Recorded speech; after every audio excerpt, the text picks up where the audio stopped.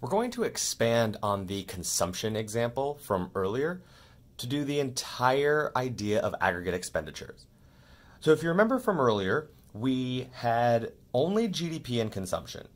And we saw that the MPC was equal to 0.6 because for every 1,000 that real GDP was increasing by, consumption was increasing by 600. So my change in consumption divided by my change in GDP was 600 divided by 1,000 and therefore was 0.6. So that's how we got that number from before. We're also given planned investment, government purchases, and net exports. What do we notice here? We notice that they're always the same. So remember, we denoted these with bars over them to show that they're not changing.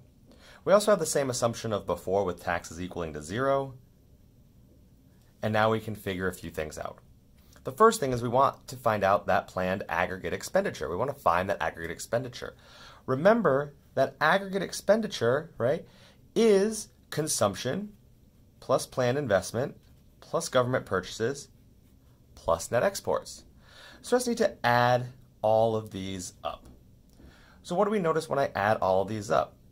Well, when I add up planned investment, government purchases, and net exports, it's 2400 minus 400, so that's an extra $2,000 we have to add to each one of these consumptions. What does that get us? Well, that'll get us 9,800, 10,400, 11,000, 11,600,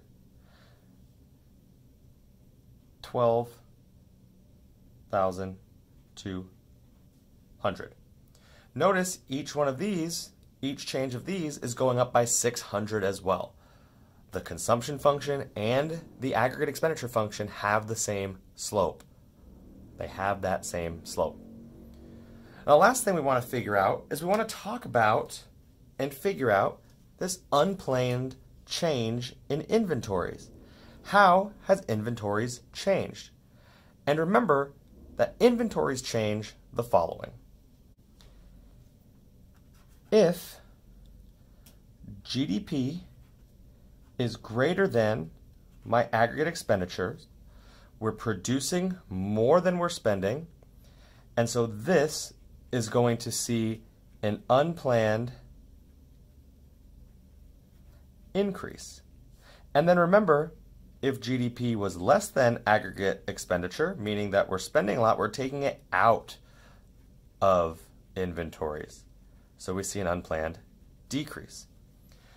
So therefore, my unplanned change in inventories is going to be that difference between the two of them.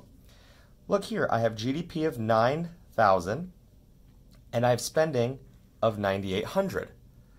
That means that $9,800 came out and only 900 went in. So that tells me that I had a negative or a decrease of $800. I had a negative $800 unplanned change in inventories. We do that the rest of the way down here. Here is 400. Here we actually see they're exactly the same, so there's no unplanned change. Here there was more spending, or sorry, there was more. Here there was more production than there was spending, so we added to inventories. Same thing here, $13,000 is produced, 12,200 was spent. So again, we added to inventories. Here we can come up with an equation, right? Unplanned changes are just going to be my GDP minus my aggregate expenditure. If you want an equation to help you out there. But make sure you're really understanding why that's the case. Last but not least, if you're given a table like this, you can figure out where the equilibrium level of real GDP is. And that would be 11,000 because 11,000 creates us to have 11,000 in aggregate expenditures and so when GDP is equal to aggregate expenditure, we know that's the macroeconomic equilibrium and there's no unplanned change.